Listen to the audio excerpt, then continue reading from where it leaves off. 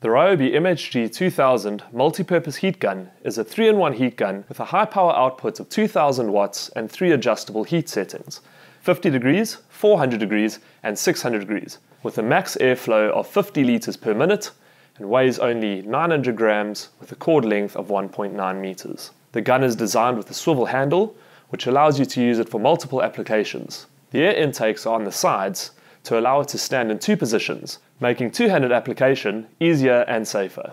This gun is great for forming and welding plastic, removing paint, heating heat shrinkable tubing, loosening adhesives, and defrosting water lines, as well as killing weeds and even lighting coals on a barbecue.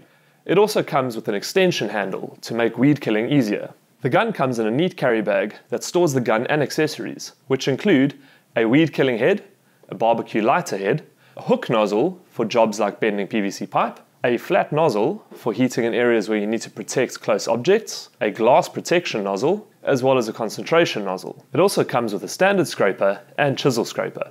If you found this clip useful, like it, share it. You can also subscribe to the Builders Fan YouTube channel for more product reviews, as well as DIYs for you to replicate or be inspired.